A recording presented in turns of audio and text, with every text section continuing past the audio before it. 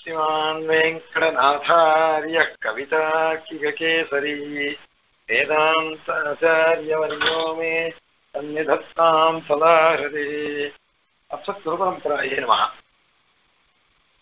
இது பர்யந்தம் ரெண்டு அதிகரணம் ஆயிடுச்சு ரெண்டு அதிகரணத்துல ஒரு அதிகரணத்துல ஆகாசம் வாயு இவைகளுக்கு உற்பத்தி உண்டு அப்படிங்கிறத சொல்லிவிட்டார் ஆகாசம் வாயுவுக்கு உற்பத்தி உண்டு. நித்தியத்துவங்கிறது கிடையாது. அப்படின்னுட்டு ஒரு அதிகரணத்தினால சாய்ச்சல் சுவாமி. அடுத்து இரண்டாவது அதிகரணத்தினால தேஜோதிகரணத்தினால இந்த உற்பத்தியானது இதர திரவியங்களுக்கு எல்லா திரவியங்களுக்கும் ஒவ்வொன்றும் பெருமாள் அந்தரியாமையா உடைத்தது. அதனால அந்தந்த வஸ்துவ சரீரியா சரீரமாக உடைய எம்பெருமான் கிட்ட இருந்தே மீதி தத்துவங்கள்லாம் உற்பத்தி ஆச்சு அப்படின்றத தேஜோதிகரணத்தை சொல்லிட்டா. இப்போ ஆத்மாதிகரணம்.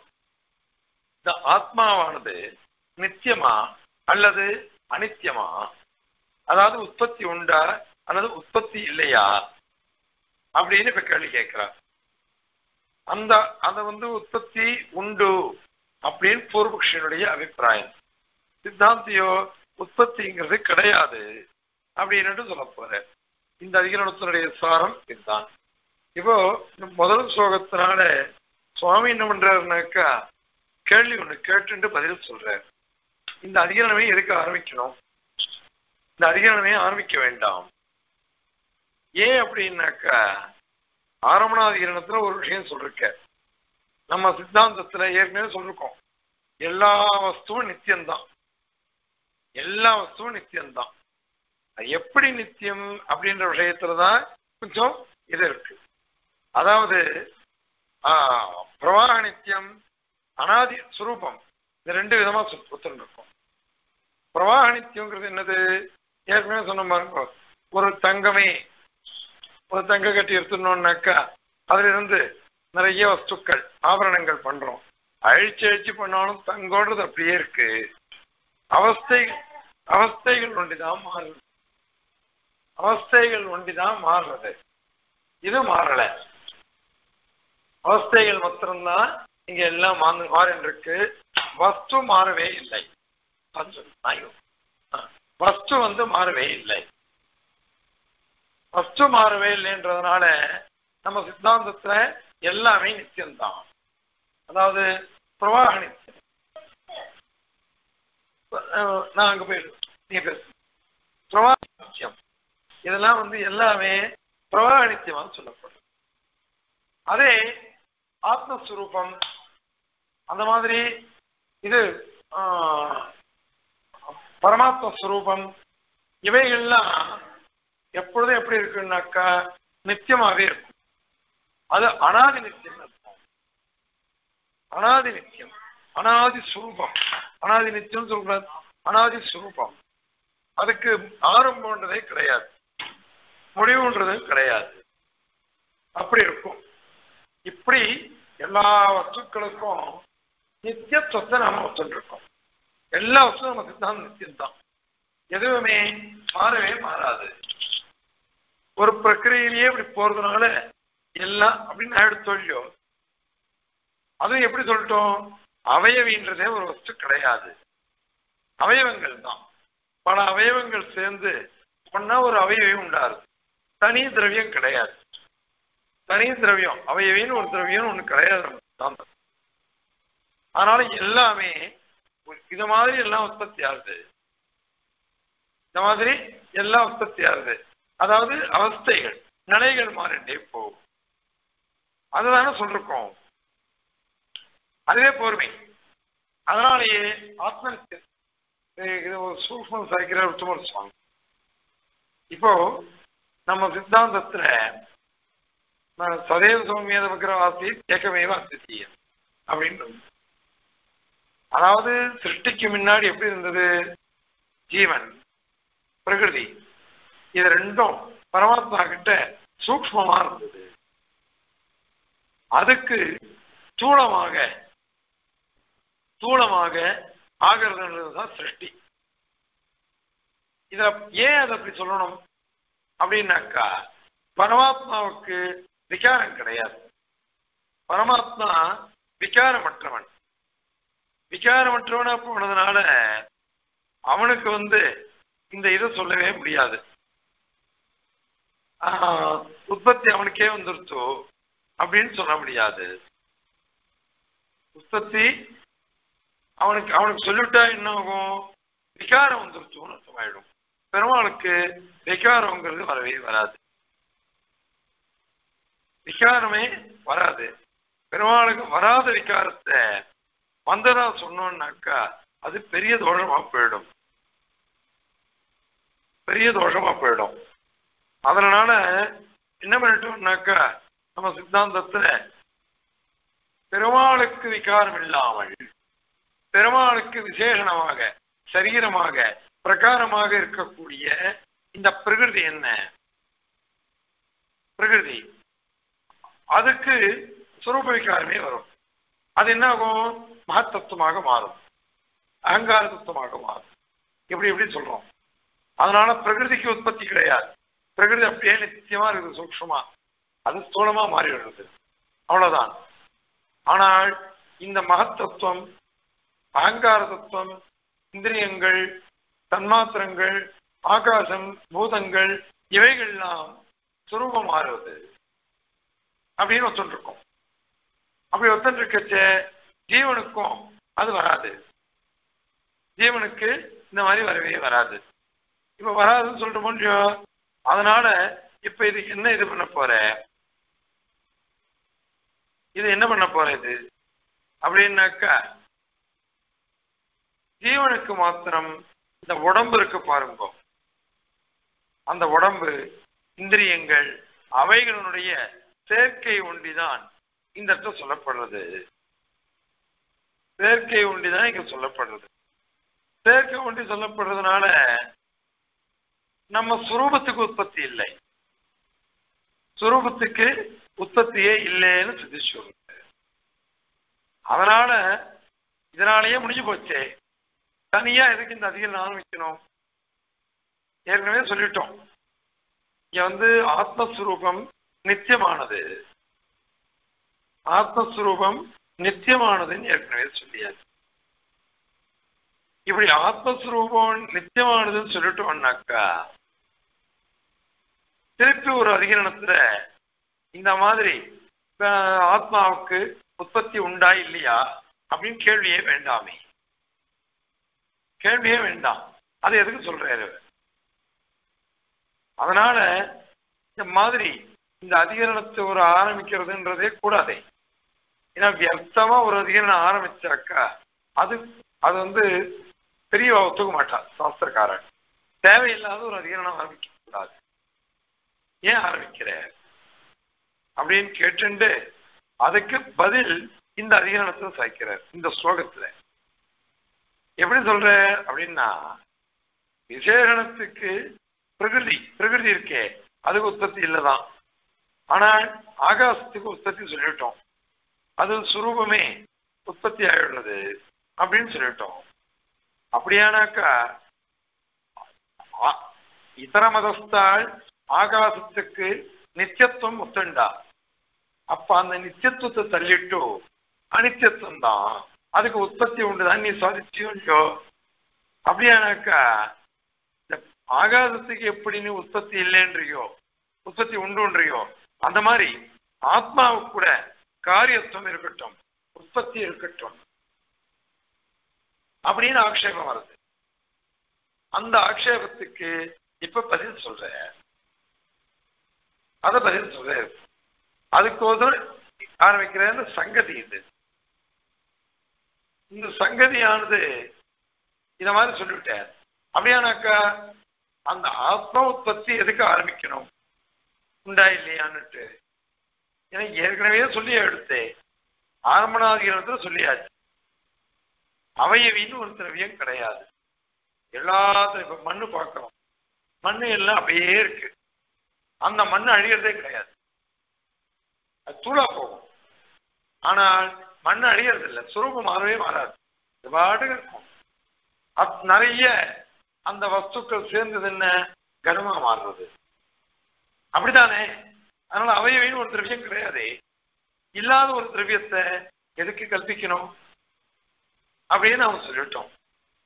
அதனால இந்த இதுல வந்து ஒரு கடம்னு எடுத்துன்னு வச்சுக்கோங்க. அந்த கடத்துக்கு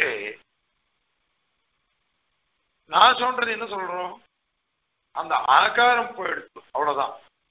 கடத்தினுடைய ஆகாரம் போயிடுத்து. வேற ஒண்ணுமே போல. அது அப்படியே இருக்கு மண்ணு. அந்த மண்ணு என்னாச்சு? கடமாக மாறி. கடமாக மாறின ஆக்காரம் அதுதானே போச்சு. அதனால இந்த வியத்திருக்கோல்லையோ ஆகாசம் அந்த ஆகாசம் கூட இந்த மாதிரிதான். ஒரு ஆகாரம் போயிடுச்சு ஆகாசத்தினுடைய ஆகாரம் போய் அது என்னவா மாறுச்சுன்னா அதுக்கு முன்னாடி என்ன தத்துவம்? சப்ததன் மாத்திரம். அந்த சப்தத்தன் மாத்திரமா மாறுது. சப்ததன் மாத்திரம் ஆகாசம் அது எப்படி போயிடுச்சு அப்படின்னா அது தாமச அகங்காரமா மாறிடுது தாமச அகங்காரம் மகத்தத்துவமா மாறிடுச்சு. மகத்தத்துவம் பிரகிருதியா மாறிடுச்சு. பிரகிருதி பரமாத்மான்னு சேர்ந்து. இந்த கிரமம் தான் இப்படி கிரமம் இருக்கிறதுனால இப்படி கிரமம் வரிசையா இருக்கிறதுனால இதுல எதுவுமே அனிச்சமில்லைன்னு எடுத்தேன் எதுவுமே அனிச்சமில்லை. அப்படின்னு இந்த ஆகாசமானது உற்பத்தி ஆகுதே அதுக்கு என்ன அர்த்தம் சொல்லுவேன் அப்படின்னாக்கா என்னன்னா முன்னாடி சப்தத்தன் மாத்திரமா அதுக்கு பேர் இருந்தது. இப்ப என்னாச்சு? வேற ரூபம் வந்துருச்சு. அதனால அதுக்கு வந்து ஆகாசம்னுட்டு நாமா. அது ரூபம் எப்படி? ஏதோ கருப்பா இருக்கு ஆகாசம். இங்க வெளுப்பா இருக்கு இங்க நீளமா இருக்கு இங்க சேப்பா இருக்குன்னு சொல்ல முடியும் இந்த மாதிரி வச்சுட்டு இருக்கிறதுனால அதுக்கு ரூபம் உண்டு. அந்த நாமாந்தர பஜனார்கமான ஒரு அவஸ்தா தியத்து ஆகாசத்துவம் அப்படிங்கிற ஒரு இதை அடையிறது அது. அ- நிலை அடையிறது அவஸ்தை அதுதான் உற்பத்தி. அப்படி பார்த்தாக்கா ஜீவனுக்கு அந்த மாதிரி அவஸ்தா இருக்குமே. ஜீவனுக்கு கூட அந்த மாதிரி அவஸ்தை இருக்கட்டுமே. அடுத்த ஸ்லோகத்தில் சொல்ல போற. அக்ஷயம் பண்ண போற. அந்த மாதிரி இருக்கட்டுமே. அப்படின்னு இங்க ஆயிடுது அப்- அது வராது அப்படின்னு அவன் சொல்றான். இந்த மாதிரி அவஸ்தையே வராது. உடனே அவன் ஒரு கேள்வி கேட்கிறான். லோகத்துல எப்படி இருக்கும் போன ஜென்மாவோட நாமும் ஒரு மிருகமா இருந்திருக்கலாம். அல்லது ஒரு அக்ஷசனா இருந்திருக்கலாம். அல்லது ஒரு தேவதையா இருந்திருக்கலாம். எப்படி வேணாலும் நம்ம இருந்திருக்கலாம் நம்ம புண்ணிய பாபங்கள் எப்படி இருந்ததோ அதுக்கு அனுகுணமாக நம்ம ரூபமானது மாறி இருக்கும். அது மாதிரி அப்ப தேவ ஜாயத்தை இப்ப மனுஷோ ஜாயத்தை. அந்த மாதிரி பிராமணோ ஜாயத்தை க்ஷத்ரியோ ஜாயத்தை வைசியோ ஜாயத்தைன்னு லோகத்தை சொல்றோம். அந்த மாதிரி விவகாரம் இருக்கிறதுனால இதே ஒரு அவஸ்தையா இருக்கட்டுமே. முதல்ல தேவத்துவ அவஸ்தா அப்புறம் மனுஷத்துவ அவஸ்தா. அதன் பிறகு பிராமணத்துவ அவஸ்தா. இந்த மாதிரி அவஸ்தைகள் இருக்கட்டவே நிலைகள்.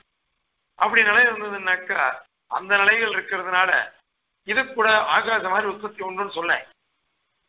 அப்படின்னு அது கிடையாது. அது கிடையவே கிடையாது. ஏன் கிடையாது அப்படின்னா இந்த தேகம் முதலானவை எல்லாம் விசேஷனம் நமக்கு கிடையாது. அந்த பிரளய திசையில சிருஷ்டிக்கு முன்னாடி பிரமாணம் நாம் எப்படி இருக்கோம்? நம்ம ஆத்மஸ்வரூபம் சூக்ஷமா சூக்மா தான் இருக்குது.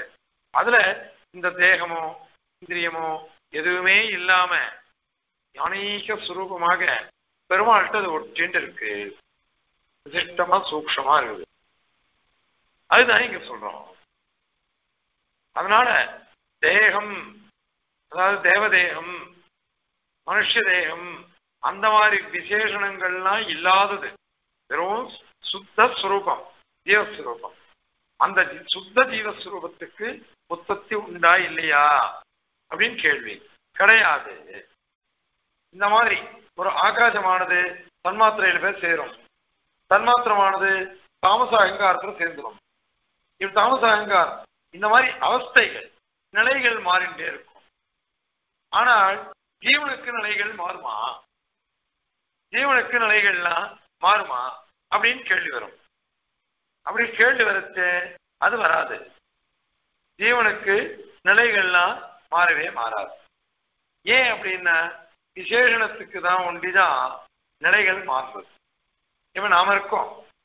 நான் குழந்தையா இருந்துச்சு எனக்கு குழந்தைன்னு தானே பேரு.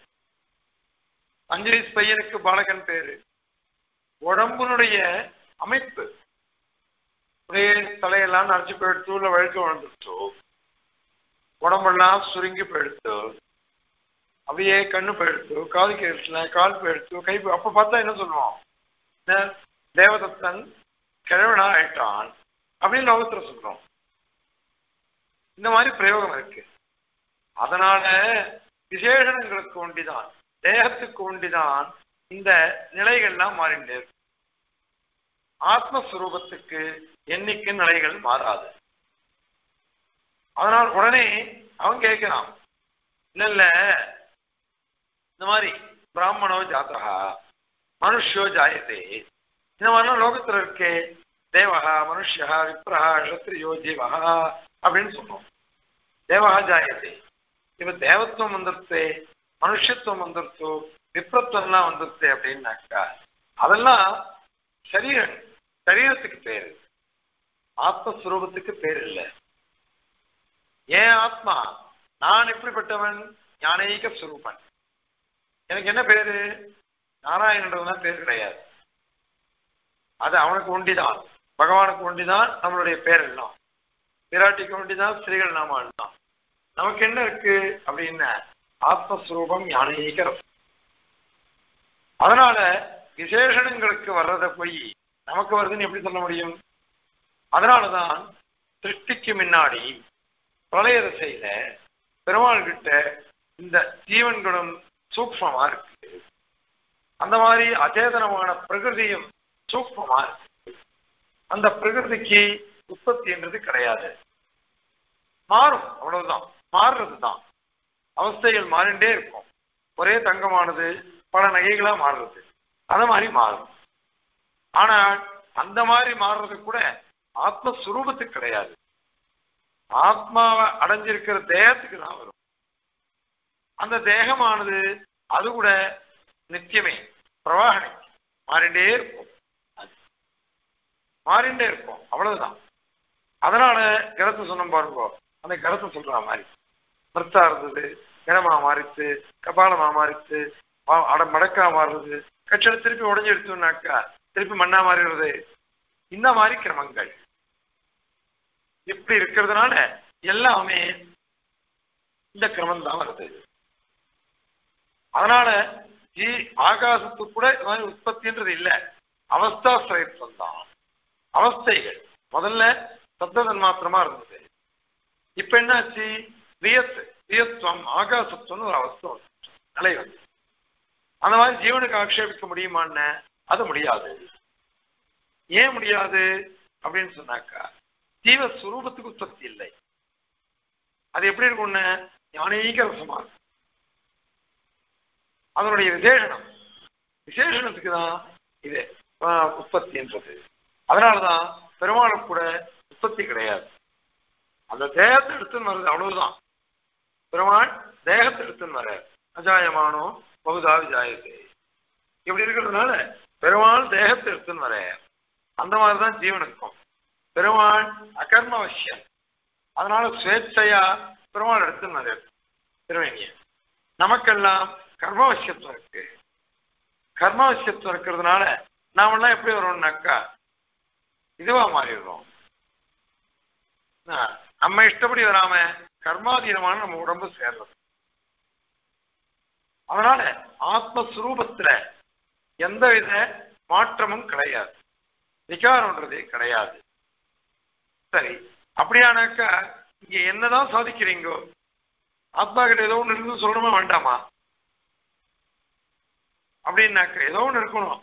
அது என்னதான் அப்ப பகவான் ஆத்மா கிட்ட சிரமா ஏதோ ஒரு தர்மம் இருக்கணும் இல்லையோ அந்த தர்மம் என்னது? ஞானீக ரசம் சொல்லிட்டேன் அது எப்படி இருக்கும்? அதனுடைய சுரூபம் என்ன? அப்படின்னு கேட்டாக்கா அதுக்கு சொல்ற பிரத்யக்துவம் நியத்துவம் அப்படின்னு ரெண்டு தர்மம். பிரத்யக்துவம்னு என்ன அர்த்தம்? தனக்கு தானே பிரகாசிக்கிறது அகம் அகம் அகம். நான் நான் நான் நான் அப்படின்னு அதாவது அகம் சப்த வாச்சியத்துவம் பிரத்யக்துவம்.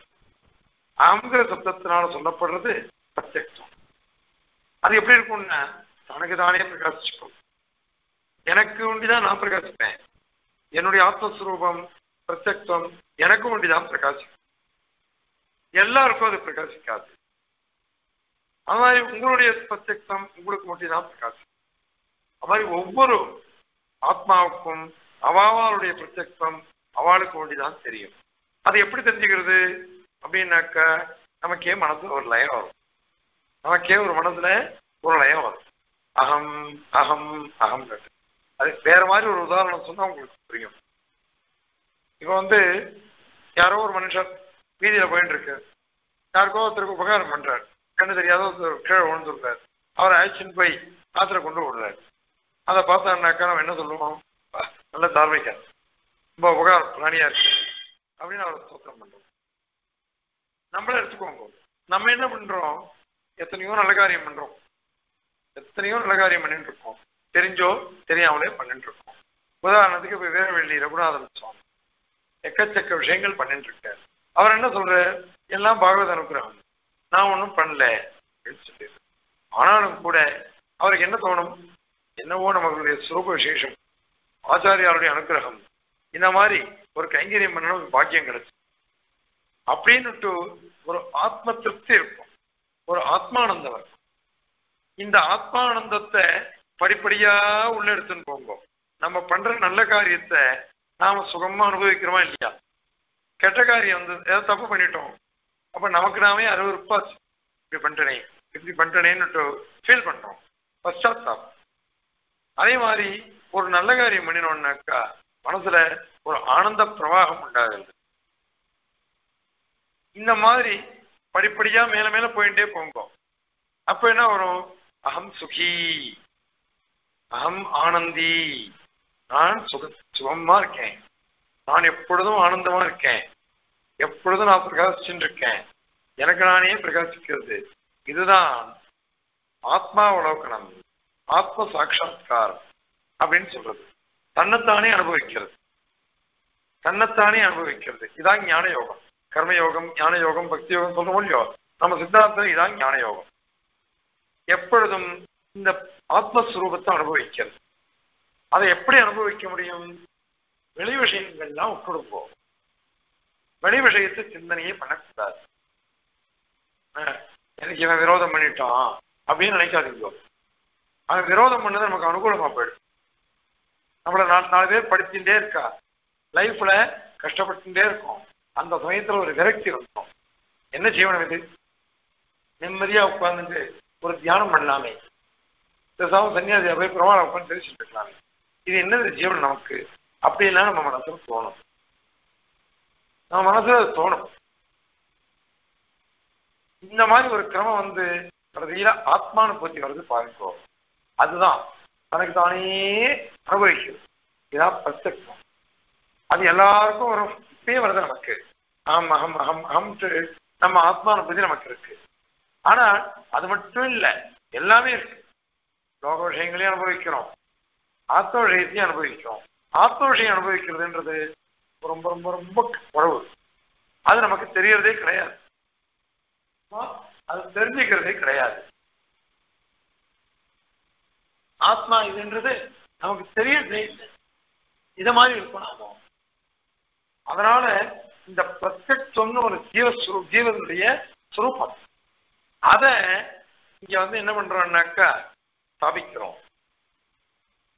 அது நமக்கு ஒன்று தெரியும். ஆனா இன்னொரு ஒரு தர்மம் இருக்கு. ஞாத்திருத்தம் தர்மபூத ஞானம் இந்த லோகத்துல நம்ம பார்க்கிறோம்.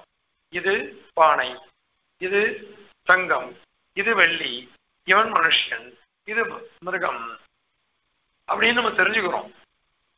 இந்த மாதிரி தெரிஞ்சுக்கிறதுக்கு உபயோகப்படுற ஞானம் தர்ம தர்மபூத ஞானம் பேர்.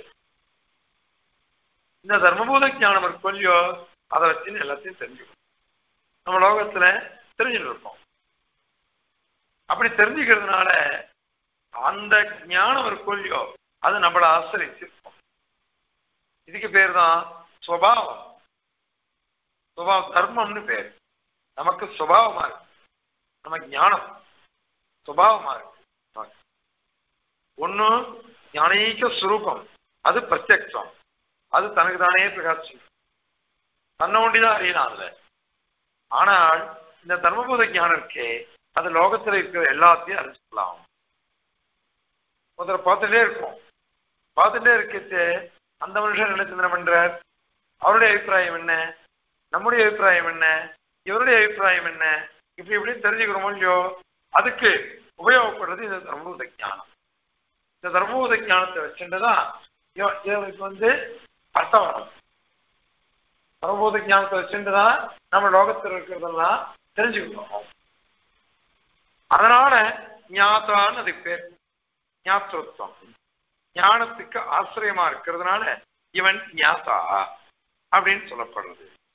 இந்த ரெண்டுமே இந்த இடத்துல சித்திக்கிறது.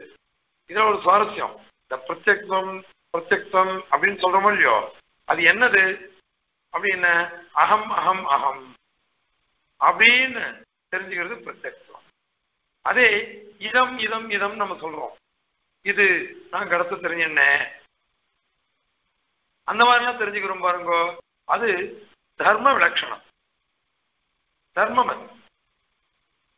என்ன தர்மம்? அப்படின்னாக்கா நம்மளுடைய இதற்கே இருக்கே தர்மபோத ஞானம் அது சொல்லும் அது. அதனால இவ இன்னும் சில பேர் என்ன பண்றான்னாக்கா வந்து நையாயிகள்லாம் வேற மாதிரி சொல்லிட்டு போயிட்டா. என்னவா என்னவா அவ சொன்னா? அப்படின்னாக்கா அவ விசித்திரமா சொல்லிட்டா அவ. எப்படி சொன்னா அப்படின்னா ஞானம் ஞேயம் இது ரெண்டுமே ஒரே மாதிரி இருக்கும். ரெண்டும் சேர்ந்தான் பிரத்யக்ஷம். அப்படின்னுட்டு நையாயிகள் சொல்றா. அத நாம ஒத்துக்கல. அது தவறது அந்த மாதிரி தத்துவம் நம்ம ஒத்துக்க முடியாது. ஏன்னா எது தெரிஞ்சுக்கப்படுறது இப்ப இடத்த தெரிஞ்சுக்கிறோம். கடமும் அது பிரத்யே தெரியும் தெரிஞ்சுக்கப்படுறது. அது மாதிரி அகம் நான் அப்படிங்கிறதும் ஆஹ், தெரிஞ்சுக்கப்படுறது. அப்படின்னு சொல்லிட்டு ரெண்டும் ஒன்னா போயிடும். ரெண்டும் ஒன்னா போயிடுறதுனால அதை சொல்லக்கூடாது. அதனால நம்ம சித்தாந்தத்துல அப்படி இல்லை. பிரத்யக்ஷம் அப்படின்னா நமக்கு என்ன? அப்படின்னு சொன்னாக்கா ஆத்மாவுக்கு சுயம் பிரகாசமா தனக்கு தானே இருக்கிறது பிரகாசிக்கிறது. தனக்கு தானே பிரகாசிக்கிறது தான் பிரத்யக்ஷம் அதுக்கு தர்மபூத ஞானம் வேண்டாம். ஏன் சுவாரஸ்யம். லோகத்துல இருக்கிற வஸ்துக்கள்லாம் நம்ம தெரிஞ்சுக்கிறோமோ இல்லையோ கடம் இந்த மாதிரி கொஞ்சம் கூடமான விஷயம். இது கடம் இது இது ரஜதம் இது சொர்ணம் இது மனுஷன் தெரிஞ்சுக்கணுமே அப்போ தர்மபூத ஞானம் தேவை. ஆனால் இந்த பிரத்யத்துவத்தை தெரிஞ்சுக்கிறதுக்கு தர்மபோத ஞானம் வேண்டாம். அது பாட்டுக்கு அகம் அகம் அகம் பிரகாசிச்சுட்டே இருக்கும் அதனாலதான் பாருங்க தூங்கச்ச கூட அந்த பிரத்யத்துவம் அப்படியே அனுவர்த்திச்சுட்டு நமக்கு தெரியல. அந்த சமயத்துல இந்திரியங்கள்லாம் இருந்தாதான் அது நமக்கு எல்லாம் தெரிஞ்சுக்க முடியும். லோகத்தை நம்ம தெரிஞ்சுக்கவே இல்லையே. லோக விஷயங்களை தெரிஞ்சுக்கல. பெருமாளோட போய் சேர்ந்து விடுவோம். தூங்குற சமயத்துல. அதனால அப்ப பிரத்யட்சத்தை நம்ம அறியறதில்லை. ஆனால் அப்பவும் அகம் அகம்ன்றது வருது. நமக்கு தெரியலன்றதுனால இல்லைன்னு நான் அர்த்தம் ஆயிடுமன்னா இல்லைன்றது அர்த்தம் ஆயிடாது அதனால தர்மபூத ஞானம் இல்லாட்டா கூட தனக்கு தானே பிரகாசிக்கிறது பாருங்கோ. சொஸ்னை வாசமானத்துவம். பாசமானத்துவம் அது பிரத்யக்ஷம் நம்ம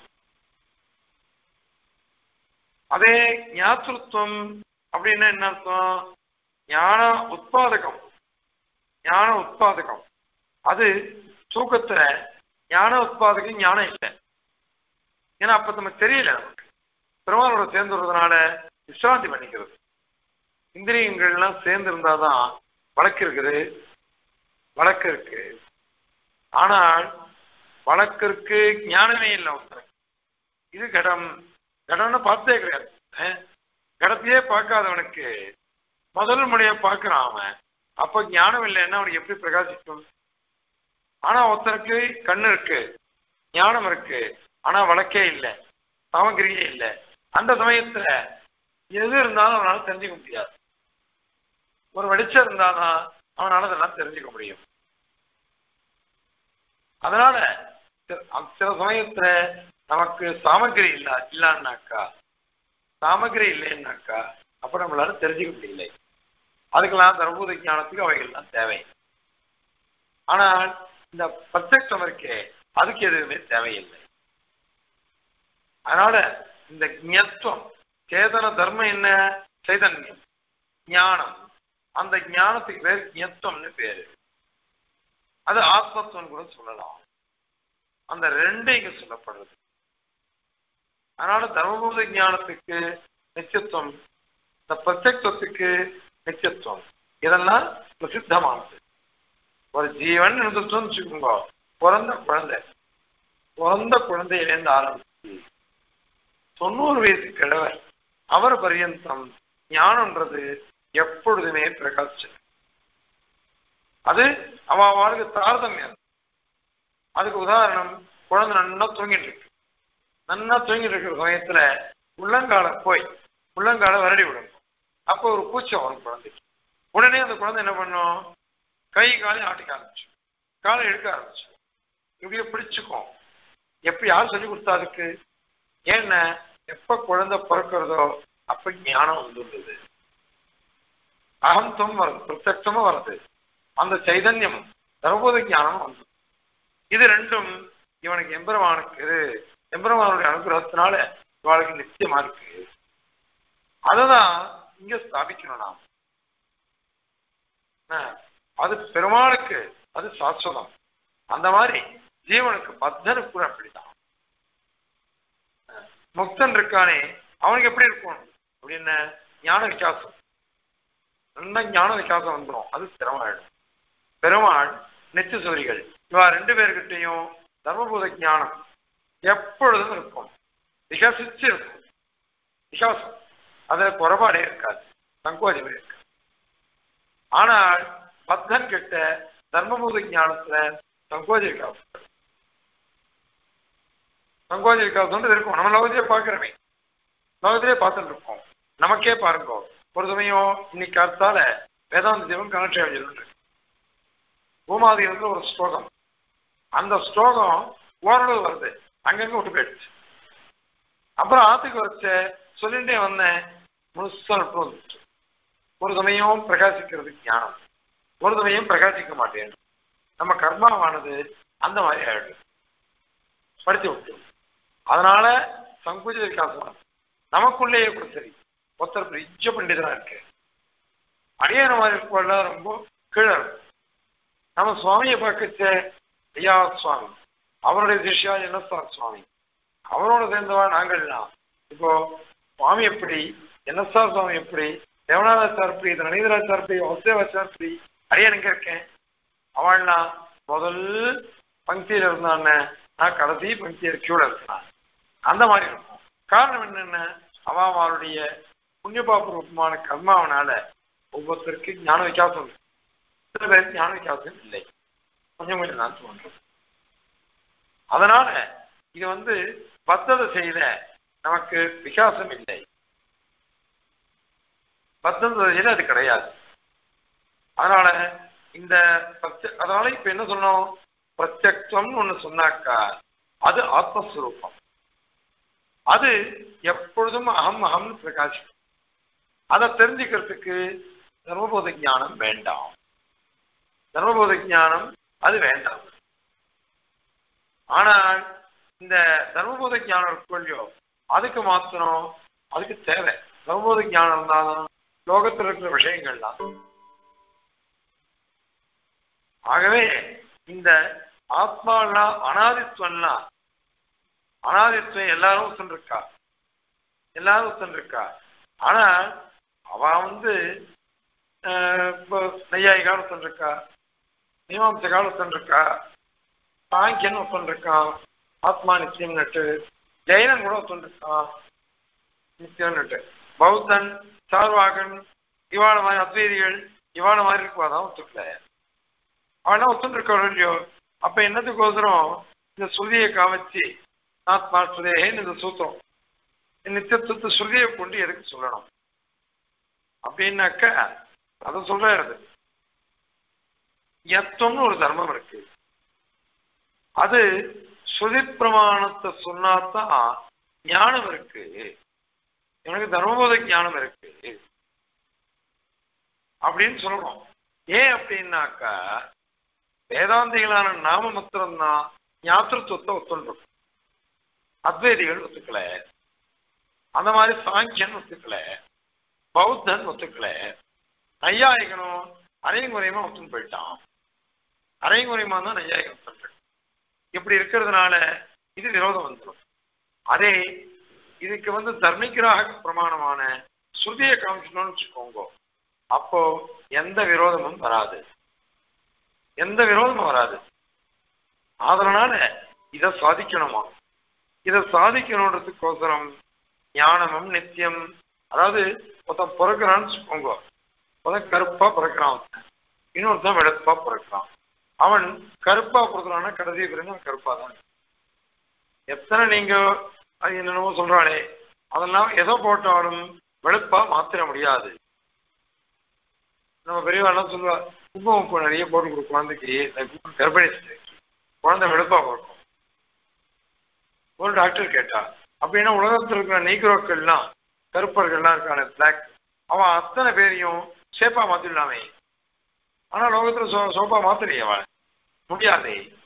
கருப்புன்னு வந்துட்டா கருப்பா தான் பிறக்கும் குழந்தைகள் அது அதனுடைய சுபாவம். அதனுடைய உடம்புடைய சுபாவம். அதனுடைய சுபாவம் உடம்பு அப்படியே இருக்காது. அது மாதிரி நமக்கும் இந்த ஆத்மாவுக்கு தர்மபூத ஞானன்றது சுபாவம். அது நிச்சயமா இருக்கும். அதே மாதிரியாக பிரத்யக்ஷம் அதுவும் எப்பொழுதும் இருக்கும். இந்த நம்முடைய தர்மபூத ஞானம் நம்மளுடைய பிரத்யக்ஷம் இது ரெண்டும் எப்பொழுதும் ஆத்மஸ்வரூபம். அது. ஆத்மஸ்வரூபத்தில் சேர்ந்திருக்கும். அதை சாதிக்கணுன்றதுக்கோசரம் இங்க இந்த ஸ்லோகம் வந்தது. இந்த ஸ்லோகம் அதனாலதான் வந்தது அது. ஏன்னா அவன் கேட்டான். எப்படி வந்து இது மாதிரி ஏற்கனவே சொல்லிட்டுமே. நித்தியத்துவம்லாம் திரும்ப எதுக்கு இதை சொல்லணும்? அப்படின்னாக்கா அதை சொல்றாரு அந்த கேள்விக்கு பதில் ஸ்லோகத்தினால சாய்க்கும். இவ பாருங்க. திரவியம் சர்வம் हि நித்யம் கதிதம் அவயவித்ரவ்யபங்கேன பூர்வம் நித்தியத்துவம் சூத்திரகாரः पुनरपि पुरुषे किं विशिष्याभिदत्ते सत्यं नामान्तरर्हाम् इह नुदति दशां चेतनस्यानुपाधेः तस्य तदिह नियमितौ शाश्वतौ क्षेत्रिणोऽपि சர்வம் திரவியம் ஹி நித்தியம் லோகத்தில் இருக்கிற எந்த வஸ்துவுமே அனித்தியம் கிடையாது சுரூபதாக எல்லாம் நித்தியம் தான் அதுல அவஸ்தைகள் ஒண்டிதான் அனித்தியம் அவஸ்தைகள் ஒண்டிதான் அனித்தியம் அப்படின்னுட்டு கதிதம் பூர்வம் கதிதம் ஆரம்பணாதிகளத்துல சொல்லியாச்சு எப்படி சொன்ன அவயவி திரவிய பங்கேன அவயவின்னு ஒரு தனி தனி திரவியம் கிடையாது. அவயவின் தனி திரவியம் இருந்தாதான் அதுக்கு உற்பத்தி சொல்ல முடியும். ஒரு அவஸ்தை தான் அவயவியே. பல நூல்கள் பல நூல்கள் சேர்ந்தது ஒரு வஸ்திரம். அதே மாதிரி ஒரு தங்கக்கட்டி அதுல நிறைய அவயவம் இருக்கு. அது அத்தனையும் சேர்ந்ததுன்னு ஒரு ஆபரணம். அதே மாதிரி மண்ணு பல அவயவங்கள் சேர்ந்ததுன்னா ஒரு கடம். அதனால அவயவங்கள்லாம் சேர்ந்து ஒரு வஸ்துவை ஆகாரத்தை கொண்டு வந்து அந்த ஏன் அப்படின்னா ஒரே மண்ணு தான் அது இத்தினோண்டு அகல்விளக்கும் பண்றோம் ஒரு சவரன் ஒரு சவரனையும் செயின் பண்ணது பண்ணித்தரான் பத்து சவரனையும் செயின் பண்ணித்தரான் பணம் இருந்ததுன்னாக்க அவ அவ எத்- தன் சக்திக்கு ஏத்த மாதிரி ஒரு தவறன் ரெண்டு தவறன் நாலு தவறனாலும் வாங்கும் என் மாப்பிளைக்கு நான் வந்து போட்டேன் ஒரு செயின் போட்டேன். நிஸ்தார்த்த அன்னைக்கு என்னால முடிஞ்சது ரெண்டு தவறும் ஒரு செயின் போட்டேன். ரெண்டு மாப்பிள்ளைங்க என் சக்தி. இன்னொருத்த நாலு தவறு எட்டு சவரன் போடுறேன். அவர் சக்தி. அதனால இந்த அவயவின் தனி திரவியம் இல்லை. அவயவின் வந்தாதான் உற்பத்தி இருக்குன்னு சொல்ல முடியும். அவயவியே இல்லாததுனால உற்பத்தின்றதே கிடையாது. அதனால நித்தியத்துவன்றது ஆத்மாவுக்குள்ள சித்திச்சுட்டே சாதாரண அச்சேதனத்துக்கே நித்தியத்துவம் சொன்னாக்கா அப்போ இந்த ஆத்மஸ்வரூபத்துக்கு நித்தியத்துவம் சுதா சித்திச்சுடுத்தே அதனால அஹ், நித்தியத்துவம் சூத்திரகாரா. சூத்திரகாரர் இது நித்தியமா இருக்குன்னுட்டு புனரப்பி ஏற்கனவே சொன்ன விஷயத்தை திரும்பவும் புருஷே இந்த ஆத்மா கிட்ட கிம் விசிஷ்ய அபிதத்தே இந்த அதிகரணத்தினால என்ன விசேஷமா என்ன சொல்ற? அபிதத்தை என்ன சொல்ற விசிஷ்ய விசேஷமா என்ன சொல்ற?